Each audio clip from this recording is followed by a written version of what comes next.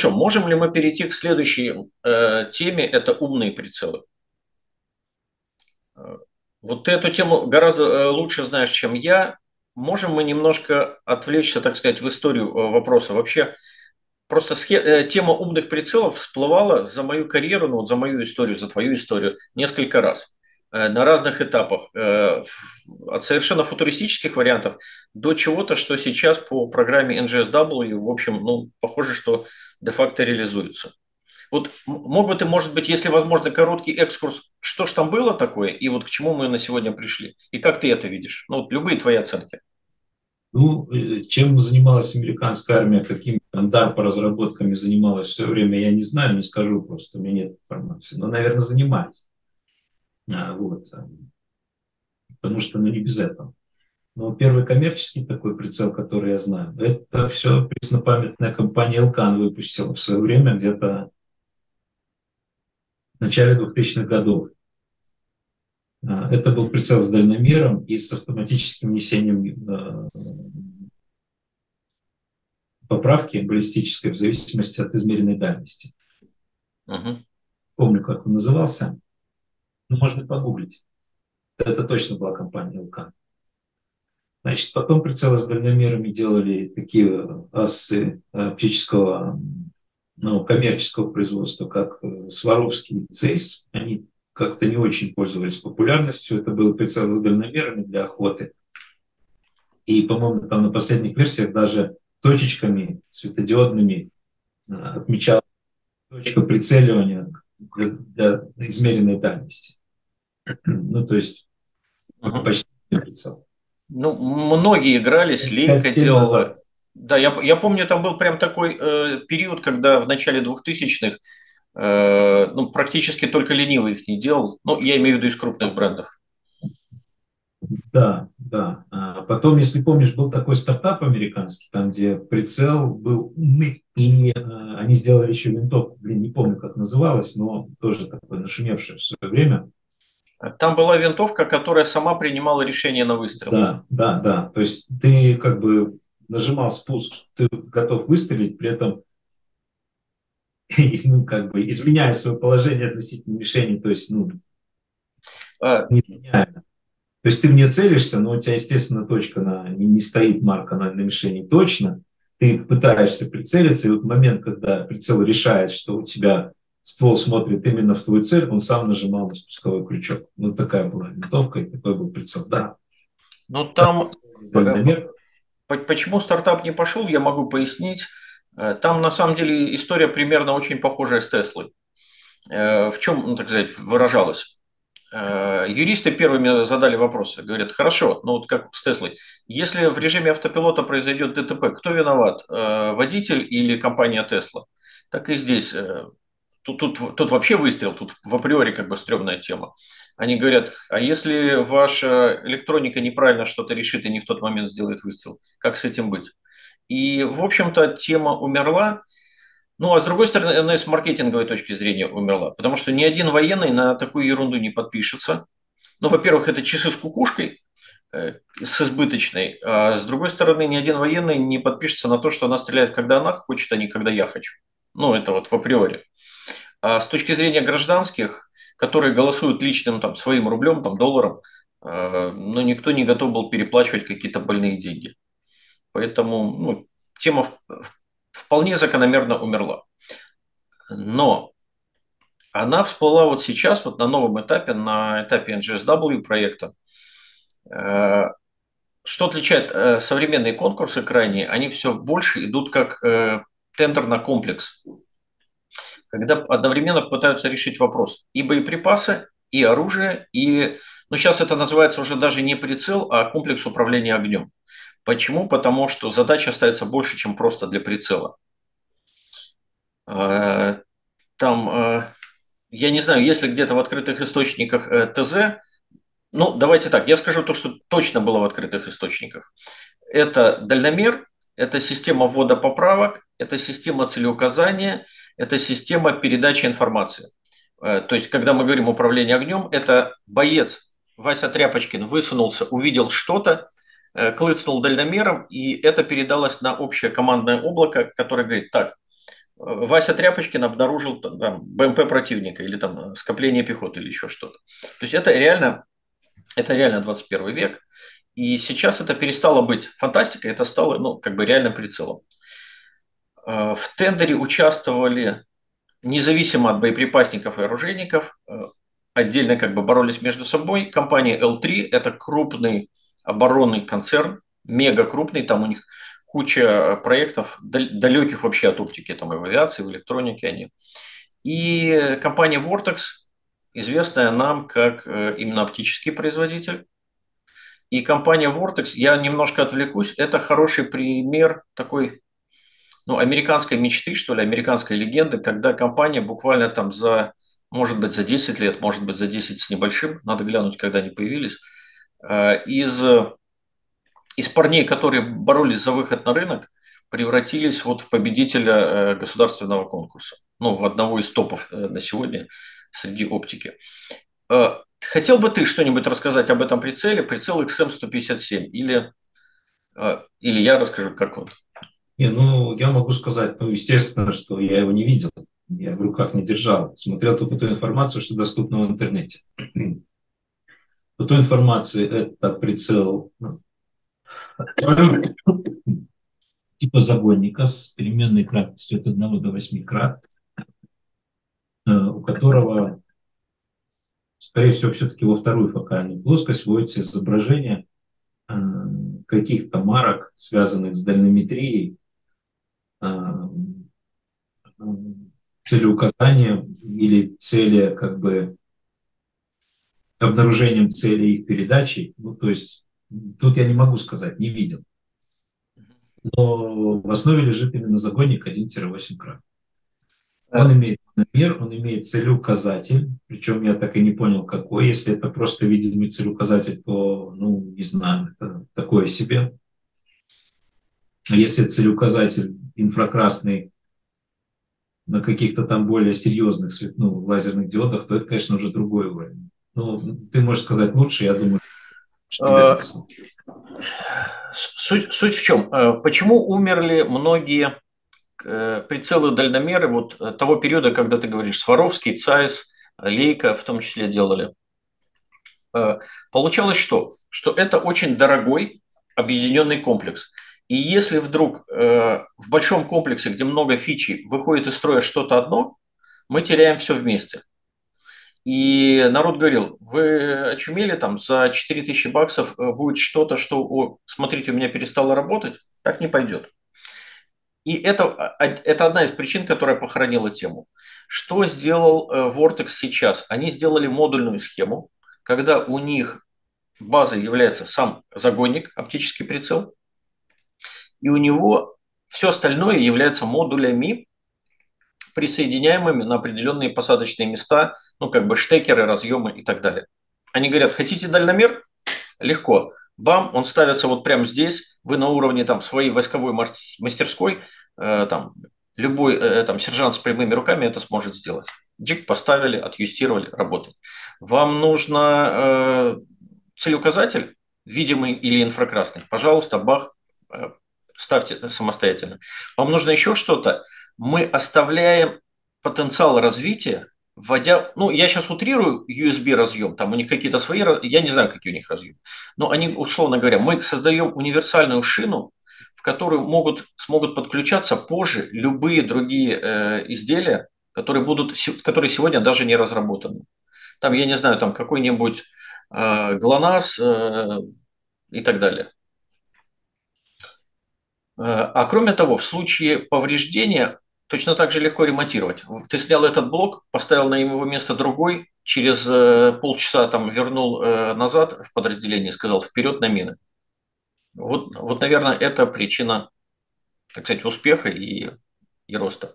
В, в YouTube есть видео, мы, наверное, маленькую врезочку нам YouTube позволит сюда вставить, когда алгоритм работы.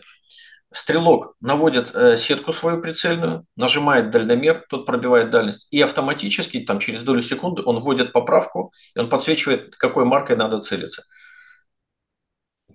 Тут же этот трехклассник, как бы э, не закончивший школу, может вести, э, так сказать, приподнять прицел и сделать выстрел очень быстро. Вот это, наверное, Не знаю, что-то мы еще скажем или будем сворачивать тему? Ну, зная примерно как модульные системы в оптике работают, когда тебе нужно совмещать оси прицела дальномера лазерного целеуказателя.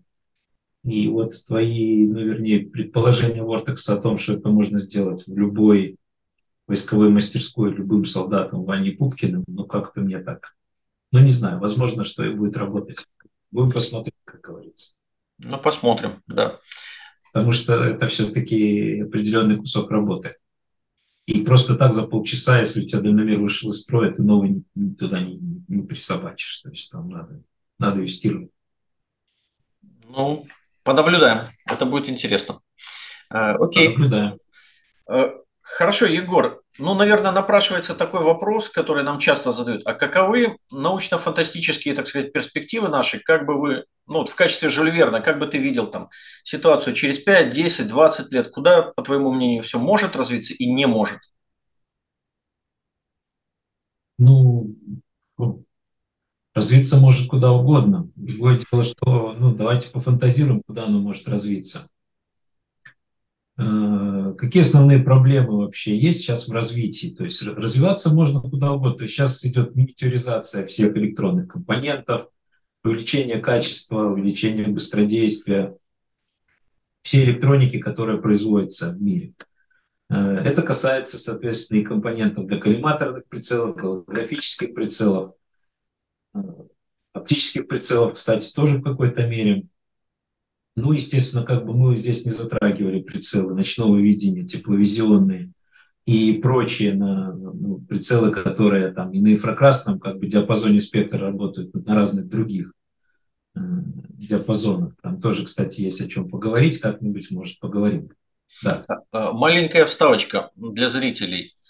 А, развитие оптической области на сегодня настолько Э, гигантскими шагами прошло, что сейчас в качестве ну, такой лакмусовой бумажки на крупнейшей международной выставке, на шот-шоу, э, первых два дня они открывают отдельный павильон для OEM-производителей, то есть для тех, кто делает компоненты не для себя, а вот просто для всех желающих. И если раньше там были производители пружинок, пластмассы и еще чего-то, то последние несколько лет там представители оптики, у которых прям э, готовые каталоги, как элементной базы, пожалуйста, собирай все, что хочешь. Как... Это любят студенты. Реально, это недорого. Э, студент говорит, я заказываю то, то, то, то, то, то, собираю все вместе, вот мой э, курсовой там или дипломный проект. Э, по такому же принципу работают сейчас маленькие стартапы, которые начинают рождать какие-то новые гениальные прицелы. И вот сейчас я не утрирую, там, ну, эти гении реально могут что-то сделать, потому что элементная база доступна. И в том числе, как вариант, есть предложение, когда эти производители предлагают в принципе готовые решения. Они говорят, вот у вас есть бренд Ремен Хок, например, я сейчас утрирую. Э, вы никогда не занимались оптикой, но вы хотите в нее зайти. Пожалуйста, вот вам готовое решение, клейте свою лейбу. И по этой причине очень много, в том числе коллиматорных прицелов, которые даже в корпусах одинаковых, что уж сильно режет глаз. Они хотя бы корпуса меняли. Ну, неважно. Что это для меня говорит с точки зрения аналитики? О том, что индустрия настолько развилась, что у нее появились избыточные мощности, что она начала делать это просто на полку для всех, кто хочет. Извини, э, Егор, это мои маленькие врезки просто по рынку. Но я немножко тебя как бы чуть-чуть поправлю. Ну, ты со своей колокольни так увидел, что вот те каталоги оптических э, компонентов, линз, призмочек, там, сеточек и прочей всякой фигни, это для того, чтобы студенты собирали конструктор. Нет. Ну, давай, давай. Это, это производители оптических компонентов показывают свои возможности. Для того, чтобы собрать прицел из этих компонентов, тебе надо его рассчитать, сделать чертежи, эти чертежи отправить этому производителю, чтобы он откорректировал свои линзы, которые он делает. Ну, вернее, сделал новые по этим чертежам и уже из этих линз собрал прицел. Это первый вариант вот, того, о чем ты говоришь.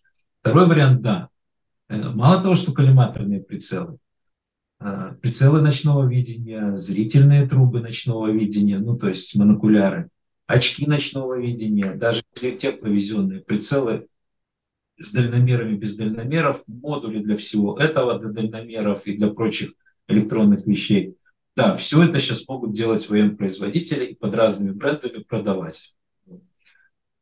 Вот если взять, посмотреть э, крупные магазины, интернет-магазины э, достаточно недорогой оптики, то э, каждый может заметить в любой категории оптических прицелов, коллиматорных прицелов, да, то, о чем ты говоришь, достаточно много одинаковых по корпусу прицелов, но с разными лейбами с разными плюс-минус ценами. Да, это сейчас очень развито. И, ну да, это можно характеризовать как то, что рынок немножко избыточен вот в этом плане по производственным мощностям. Хорошо. Э, ну, дорогие зрители, если кто-то из вас решит открыть маленький э, свечной утрирую, опти, оптический да. заводик по производству коллиматорных либо каких-то прицелов, вот обращайтесь, э, Егор Валентинович как раз специалист в этом деле. Э, ну да, приходите ко мне, поговорим. да. Теперь к основной теме, наверное, все-таки вернемся. То, что касается развития э, прицельной техники в ближайшее время.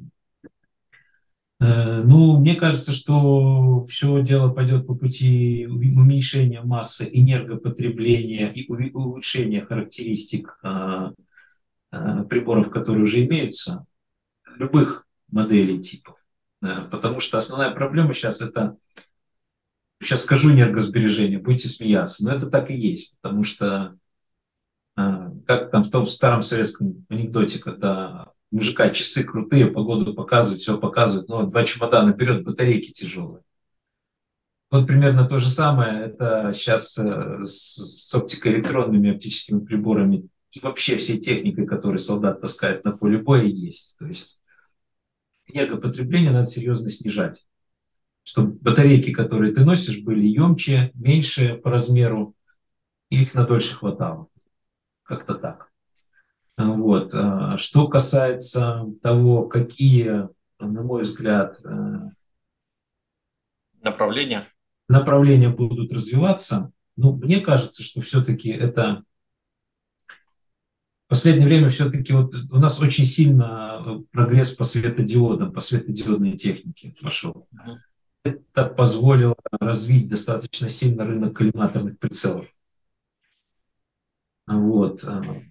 И я думаю, что все-таки, я считаю, что коллиматорные прицелы, как прицелы массовые для э, стрелкового оружия, они более перспективны, э, будут более многочисленными в ближайшее время. И мы увидим, как они начнут завоевывать, ну, собственно говоря, умы и сердца любого солдата или, или любого, как, как сказать, того, того, кто отвечает за поставки Э, смотри, навер... наверное, тут стоит сделать такую ремарку, которую многие из наших зрителей, кто немножко в теме, под... подхватят и поддержат. Э, если в начале, там, в середине 90-х э, там, белорусские производители в том числе столкнулись с Aimpoint, который тоже в тот момент только поднимался, и там, дай бог, стартап был 10 человек, то э, к началу 2000-х Aimpoint стал царем горы, который завоевал весь рынок коллиматорных прицелов, почти весь. А, на сегодня произошло уникальное событие. Это бренд Холосан. Это ребята, которые, кстати говоря, вот тоже начали с, с каталогов и... Ну, как, как Vortex примерно, они с такого же уровня начали и развились. Да, это тоже такой пример американской мечты, когда ну, фактически там из гаража выросла компания, которая на сегодня такими семимильными шагами развивается, что когда я на выставке общался э, с коммерческим директором iPoint, у них, кстати, женщина коммерческий директор, очень умная дама. Реально умная, ум. Я вообще перед умными женщинами я снимаю шляпу. А, и э, мы обсуждали в том числе там ситуацию на рынке, что происходит. Она говорит, из-за давления Холосана мы были вынуждены э, выпустить новую модель специально, так сказать, ну, более бюджетную, потому что они нас выдавливают со многих э, международных тендеров мы вынуждены снижать цены. Это вот влияние как бы и конкуренции, и там, так сказать, влияние борьбы. Американская мечта. Э, но, кстати говоря, из свежего, из с той же Ивы, вот то, что мы с тобой обсуждали, да. Холоса начинает залазить в другие ниши уже, заработав деньги. Они начинают делать термоприцелы, ночные прицелы, коллиматорно комбинированные комплексы. И э, как ты смотришь вот на эту тенденцию? Насколько, как это будет развиваться? Будет это новым трендом? Заменит ли это то, что у нас есть сейчас, там, через 5-10, там, через сколько-то лет? А, мне кажется, что для а, оружия ну, стрелковки такой типа штурмовых винтовок, та тема, которую сейчас поднял Холосан, то есть это комбинированный коллиматорно-ночно тепловизионный прицел, она должна очень сильно сыграть в ближайшие годы. Потому что это, ну, это круто. В очень маленьком корпусе иметь э, абсолютно круглосуточный прицел, обладающий ну, всем тем, что раньше позволяли системы стоимостью за 20 тысяч долларов, в ценовом диапазоне порядка 2-3 тысяч долларов, и который можно установить на любое практически оружие, и оно весит при этом немного. Правда, не знаю, сколько потребляет энергии, но думаю, что тоже они с этим, если еще не поработали, то поработают. Это тоже будет очень хорошей тенденцией, я думаю. То есть это будет круто, если они разовьются, и они сейчас пойдут завоевывать рынок. Это абсолютно однозначно. Ну, я, я предполагаю точно так же, как со всей э, микроэлектроникой. Э, с каждым годом э, тема дешевеет, э, особенно когда она растет в масштабе. Любой крупный заказ э, очень сильно обрушивает цену на компоненты. Ну, потому что когда начинают производить не одну тысячу штук, а там 50 тысяч или 100, то масштаб срабатывает очень радикально. Окей, да. Да, да это интересная тема. А, что-то еще ты видишь в будущем? Как вот тенденции? Встроенные баллистические калькуляторы. Ну, это не, не такая сложная тема, если ты знаешь, э, да все наши практически зрители знают, э, та еще сеньора Игоря Борисова, который еще лет сколько, 15 назад разработал свой калькулятор «Стрелок», который сейчас работает практически на любой системе. Больше 20 лет назад уже. Больше 20, да, больше 20 лет. Поэтому калькулятор не есть проблема. А проблема их интеграция в систему. Это не всегда хорошо и быстро получается, но это развивается сейчас очень быстро. И... Но опять же, мы должны здесь сделать очень интересную ремарку. В принципе, а, достаточно умный прицел, если ты помнишь, была такая компания IWT а, российская, ИВТ. ИВТ, нет. Ну, не, ну окей, не, извини, ну, она не, не важно. Сейчас, сейчас, ну, сейчас они переключились как бы с э, достаточно Yes. таких крутых, э, мощных, э, умных прицелов, но связанных с тепловидением. Uh-huh. Немножко в другой, на, на другой рынок, потому что банально не смогли э, потенциальные пользователи, скорее всего, потянуть по ценам, потому что у них это стоило очень дорого. Но системы были очень продвинутые. То есть она, у них были прицелы, которые э, считали дальность, были там встроенный дальномер, считали ветер, у них были датчики температуры, давления э, и очень продвинутые баллистические калькуляторы, встроенные в тепловизионный прицел. И, соответственно, сетка, естественно, меняла свое положение в зависимости от дальности и поправок, которые вносились. Плюс у них был GPS-навигатор, э, ну, не навигатор, GPS-модуль и компас, которые позволяли э, при, ну, позволяют и сейчас, можно сказать. Вот, например, ты прицелился в какую-то, куда-то выстрелил. И пошел посмотреть, что ты там попал, не попал. Когда пришел на место и нашел место стрела, ты увидел, например, что у тебя подранок ушел, ну, если говорить про охоту, про зверя то ты мог вернуться на место, с которого ты стрелял. Это первое. И посмотреть. То есть как, куда, чего у тебя там, в какие, какие места пошло. То есть. И, э, ну, то есть много таких очень интересных функций было, которые мало кто э, больше в каких-то вещах использовал, а они были достаточно продвинутые. Ну, вот. это, для меня это как раз вот то, о чем я чуть раньше сказал, система управления огнем, но в приложении да. к военной э, нише когда ты со своего места, э, так сказать, подсветил и передал да. в облако информацию, кто где находится. Потому что у нас сейчас уже школьники, играя э, в, там, в танки и так далее, подсвечивают друг другу цели, и это такое, там вроде играют танки там, 20-х э, годов 20 века, а картина боя такая, как на электронном планшете, да, как да, будто да. они в 21-м. И как будто у тебя еще коптеры в пространстве летают, и все это как бы... Контролем, да. Это показывает э, прям, прямо в глаз там командира танка или там наводчика. Хорошо, да. то есть получается, что у нас э, направление в создание многофункциональных устройств будет происходить? Да, естественно. То есть мы сейчас, ну, как бы я старался придерживаться ну. части всего этого, но опять же, если мы говорим с точки зрения системы управления боем и системы управления войсками, то понятно, что все это будет интегрировано в общую систему управления. Каждый боец будет иметь возможность показать э, направление на цель и дальность до этой цели любому из бойцов своего подразделения, вышестоящих и так далее, как подразделений, вплоть до там, штаба там, армии или там, вообще Министерства обороны, системы управления. А, и у Министерства обороны немножко другие задачи, чем у штаба. Министерство обороны продает яйца килограммами. И... Ну, я имею в виду, понятно, штаб, который занимается управлением, ведением всяких разных действий. Я понимаю, это, это просто грязный юмор, я прошу прощения. Да, пошутили, хватит называть. Это сейчас новости такие в некоторых странах, что там за это немножко как бы, да. Сильно можно сидеть. Окей, что, что-то еще ты видишь, еще какие-то направления? Или, в общем, это, наверное, пока главный тренд? Не, ну, ну собственно, это что, направлений-то может быть много. Другое дело, что это направление очевидное, которым точно будет развиваться.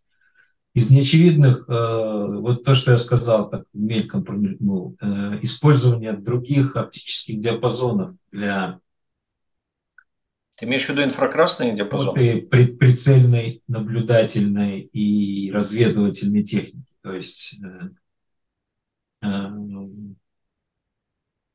ну, у нас сейчас тепловизоры работают в среднем ИК-диапазоне, то есть там, если это охлаждаемые, то там чуть побольше, если не охлаждаемые, то чуть поменьше микронов. То есть от двух, условно говоря, там, до 30 микрон. А, это длина волны излучения. А, есть диапазон за этими микронами, то есть это как бы, то есть дальше 30, то есть там уже входит в, в радиоволны, можно сказать.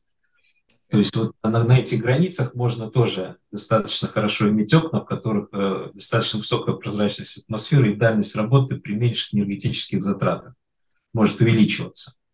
А есть э, ультрафиолетовый диапазон, который вот э, ну, как бы по, э, по линейке спектра чуть, чуть как бы... С обратной, с обратной стороны от инфракрасного. С обратной стороны от инфракрасного через как бы видимый. В этом диапазоне тоже есть определенные интересные моменты, в которых можно работать. Но пока, по крайней мере, я не слышал о массовом применении устройств в этих диапазонах. Но Э, есть научные труды, которые говорят о том, что там можно работать, и есть определенные очень хорошие перспективы. Но для страховки и для применения в наших таких вот, это дойдет еще очень не скоро, скорее всего, и дойдет вообще. Ну, как, как обычно, будет зависеть от э, наличия интереса со стороны заказчика и на, наличия бюджета наличие э, группы ученых, которые там, в общем, болеют этой темой. Ну как? Секрет, да, сек... и... наверное, секрет успеха любого научного проекта. Согласен. Ну и опять же, э, если говорить о развитии оптики вообще, вот такой экскурс в историю небольшой дать, то ну, вот есть э, поколение электронно-оптических преобразователей, приборов ночного видения. Первые из которых появились еще во Вторую мировую войну. Э, немцы их использовали, в частности, на штурмгеверах, на танках. В Америке и в Англии тоже их использовали еще в конце 30-х, э, начале, э, в начале 40-х годов. Первые образцы появились, первое поколение. Второе поколение – это приборы, вот наши НСПУ, НСПУМ, 1ПМ, там, я не помню, какой гранатомет, 35-й, по-моему. То есть длинные такие прицелы, у которых… 1ПМ 51. Да, стоят в каскаде. Длинный такой электронно-оптический преобразователь, каскадный. То есть каждый последующий кратно увеличивает на коэффициент своего усиления количество электронов, которые участвуют в построении изображения, соответственно, усиливают свет. Вернее, это как бы первое плюс поколение. Второе поколение – это уже микроканальная пластинка, которая, говоря проще простым языком, это губка такого, собранная в круглый такой шайбу. Uh-huh. В губке есть, как в сотах, маленькие микронные канальчики, каждый из которых усиливает свет, и, соответственно, свет, ну, то есть гораздо большую темноту ты можешь использовать этот второй прибор. И третье поколение, в котором еще там есть э, определенное а, по сравнению со вторым поколением улучшение, то есть там улучшение э, характеристик вот самой этой трубки, улучшение характеристик питания, когда ты можешь э, усиливать сигнал не со всей трубки, а только с ее части изображения. Но неважно. Но суть в том, что я хотел сказать, в том, что у меня была книжка, брошюрка, взял в библиотеке, как-то она вот у меня через руки прошла, и очень быстро я ее отдал. Но помню, как сейчас. Книга э, начала 60-х годов по э, ну, оптике ночного видения. И вот в начале 60-х годов уже, то есть там 61 год, было показано, как это в ночном видении будет развиваться, где будет второе поколение, чем оно будет характеризоваться. А тогда еще только первое было. То есть второе тогда не говорили. Его не было в производстве. А чем второе от второго плюс отличается, чем третье отличается. И, в принципе, на третьем, после третьего уже там начали говорить о том, что там тепловидение, там другие спектральные диапазоны, собственно, то, о чем мы сейчас с тобой говорим, как это будет развиваться в дальнейшем. Э, ну и надо сказать, что третье поколение в Америке появилось э, в 90-х годах, реально. То есть через 30 лет после того, как эта книжка вышла. Но остальное все начало развиваться. То есть это говорит о том, что ученые, они, как правило, если это хорошие ученые, которые он в состоянии спрогнозировать, э, вот так сказать, шаги. прогнозировать развитие на многие десятилетия вперед. А, что ты скажешь? Как правило, угу. как правило а, вся проблема, весь затык происходит в, э, в реализации, в производстве этих вещей, в серийном производстве. А, Не только Егор, Такая, наверное, ну как бы свежая фишка, когда начали объединять ночные прицелы с тепловизионными, и когда начали для повышения эффективности использовать уже не элементную базу, ну то есть не физические принципы, а математику. Наверное, ты видел эти системы, когда, ну я условно э, говорю, может быть я не прав, поправь меня, когда что-то аналогичное с алгоритмами распознавания текста работает – они находят контрасты, они каким-то образом, там, так сказать, по своим протоколам работают, вот они закрытые протоколы, и они начинают подсвечивать грани там, бойца, техники, еще чего-то, и делают ее более контрастной, на, так сказать, исходя из, из той э, картинки, которая, в общем, физически уже получена.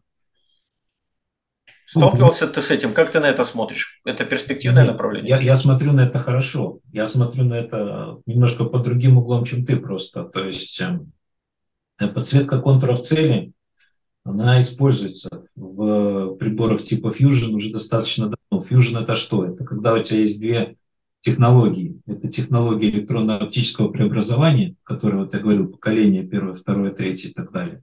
И технология тепловидения, то есть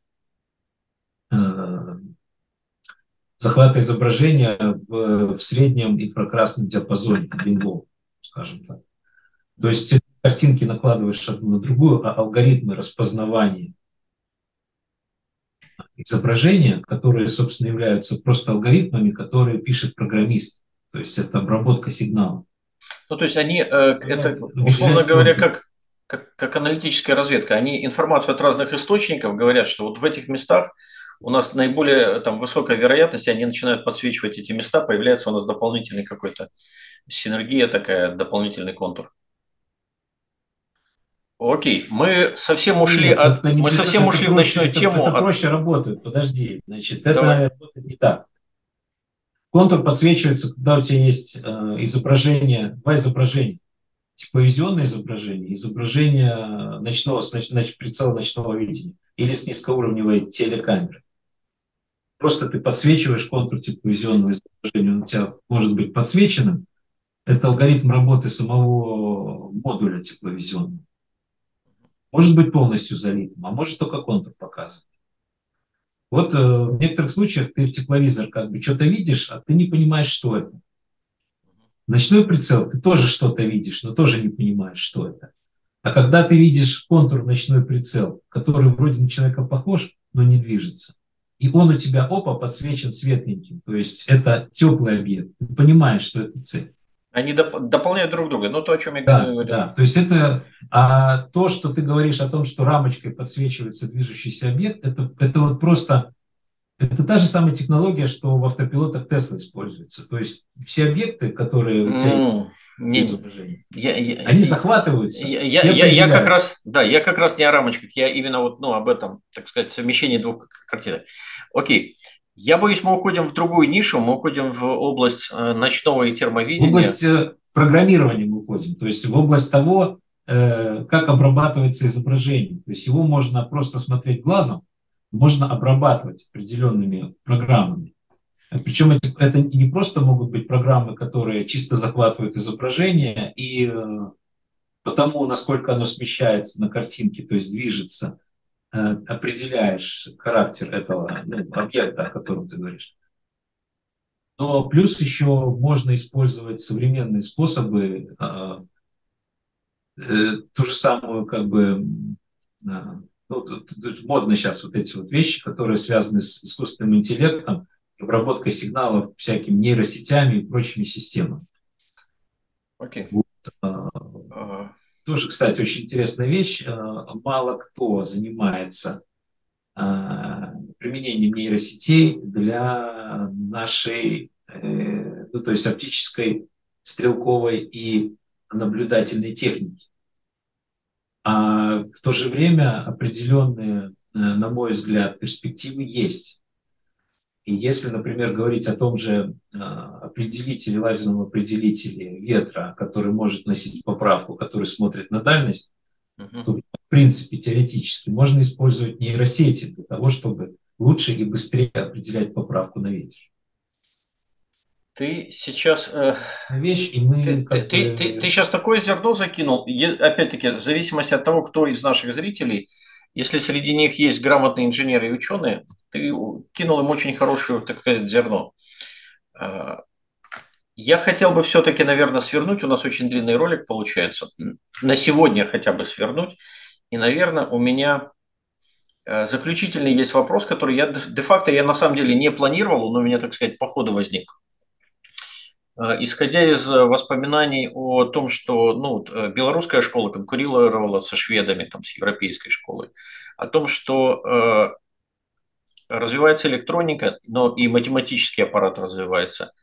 Э, мог бы ты мне, мог бы ты дать какую-то оценку или просто свое видение, что позволяет или не позволяет отдельным каким-то там научным коллективам Э, добиваться успеха и становиться вот такими вот, ну, вот как холосантом, э, там, бизнес-чудеса показать там за относительно короткие периоды. Что бы ты вот выделил как слагаемый успех? Вот в случае, если, а, у нас есть там Кремниевая долина, есть то, то, то, то, то, то, то, там режим благоприятствования, это возможно. Если какого-то из этих параметров нет, это возможно, но дольше, либо невозможно совсем. Или мы кажется, опустим этот, или этот вопрос провокационный? А, почему? Ну, не провокационный, это вопрос такой достаточно правильный, грамотный. А, здесь абсолютно, мне кажется, универсальный подход здесь может быть, как к любому стартапу. В любом стартапе а, краеугольным камнем в успехе и неуспехе являются фаундеры при всем при этом. То есть люди, которые за ним стоят. Угу. И ну, достаточно, человека... ли, достаточно ли просто денег? Э, нет, да, да, нужны люди. Я говорю о том, что нужны люди. Просто денег, а бы кому дать, э, результат будет э, Сколково. разный. То есть ты даешь, там, условно говоря, Биллу Гейтсу миллион долларов, или ты даешь...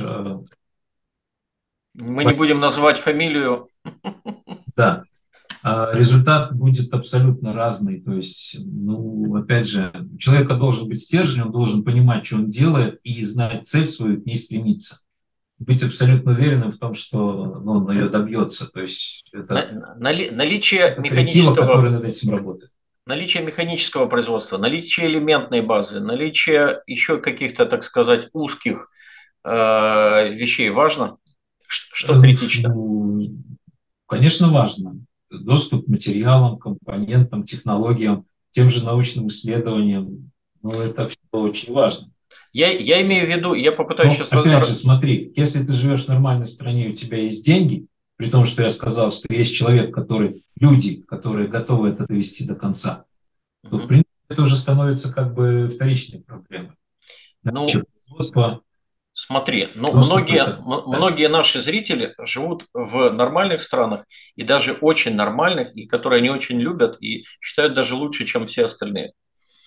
Ну, это а, логично, да. Это патриотизм называется. Да, поэтому вот как бы убедить их, что... Ну, поэтому это тонкая тема.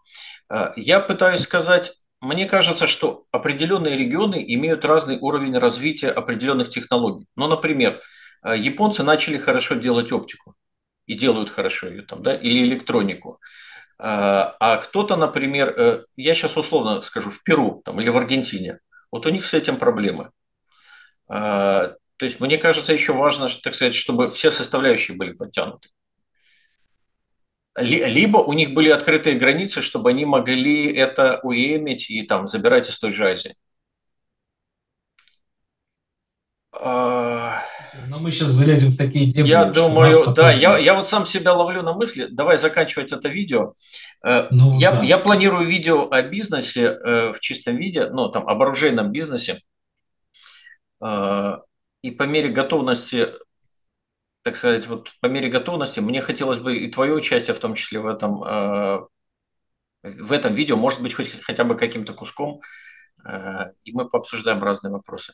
На этом я предлагаю, друзья, мы прощаемся, мы слишком затянули вам да, теплое, длинное субботнее утро или вечер, или я не знаю, когда вы нас смотрите. На этом пока-пока, не пропадайте. Всего доброго, Костя, уважаемые зрители. Надеемся, не последняя встреча. Счастливо, пока-пока. Пока. -пока. пока.